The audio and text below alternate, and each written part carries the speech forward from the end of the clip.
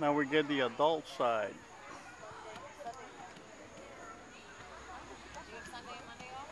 Of the story.